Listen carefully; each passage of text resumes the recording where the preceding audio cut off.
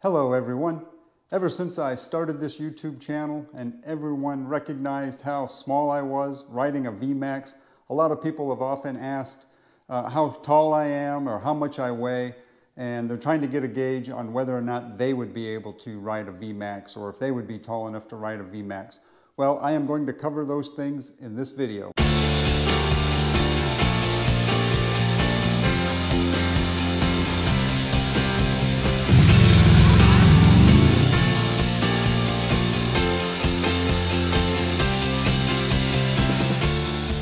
Okay, like I mentioned, a lot of people have often asked how tall I am to find out whether or not they would be able to ride the VMAX or not. So let me just go ahead and get my dimensions out of the way. I know I've mentioned it in other videos, kind of here and there, but I've never had a video strictly on the topic of whether or not uh, someone else uh, could ride the VMAX or what my exact dimensions are. So let me just go ahead up front, tell you I am five foot six, weigh about 130 pounds and my inseam is 30 inches. So if anything you take away, it's probably the inseam is the most important part.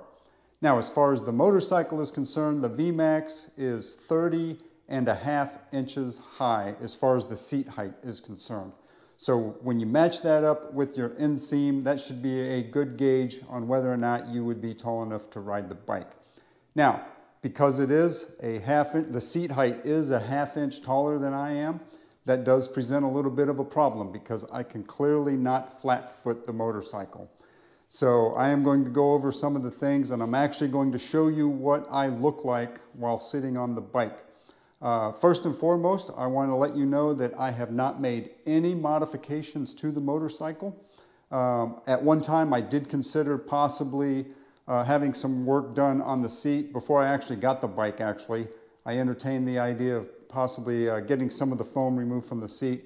Uh, but after I got on the bike and uh, realized it, it wasn't that big of a deal, um, I decided against it. Not to mention, you've also heard me in another video talk about uh, the seat just isn't that soft for me, so I didn't feel like uh, pulling any more padding out of there uh, would, would be helpful at all. So it would make it even less comfortable. So I just left things as they are. So no modifications to the bike. The one thing I will add right now is that as far as the preloads are concerned, I have my preloads on the very softest setting as possible, both front and rear. Um, but as you will see, uh, even when I mount the motorcycle, it, the preloads, uh, even on the softest setting, uh, the bike really doesn't drop much when I sit on it because I just don't have enough weight. Uh, but I will mention here when I am riding two up uh, and adding that extra weight on the rear, uh, that does drop the bike down to where I can flat foot it. I'm not going to demonstrate that here today, uh, but it, it does make basically holding the bike upright easier to some regard when someone else is on the back of the motorcycle. but anyway, so moving on, I'm just going to jump on the motorcycle right now so you can have an understanding of what it looks like and how I have my feet planted on the ground all by myself. I have two cameras, so I'll have one kind of zooming in on my feet and my boots. Speaking of my boots, I want to let you know that too, that I do not have any type of special boot uh, that's taller than anything. These are just uh, normal Joe Rocket boots, uh, not designed to add extra length to the heel or anything like that. Uh, in fact, I'll leave a link to the description in all of my riding gear where I have another video explaining all that and the boots, I go over that as well. But again, nothing special there. Let me go ahead and get on the motorcycle and show you what it looks like.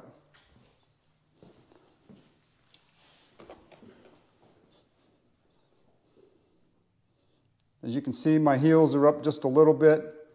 And when I come to a stop, uh, sometimes I'll just go one side and, and do this number, one or the other. Uh, but for the most part, I'm, I'm pretty much in control. So it's not that big of a deal.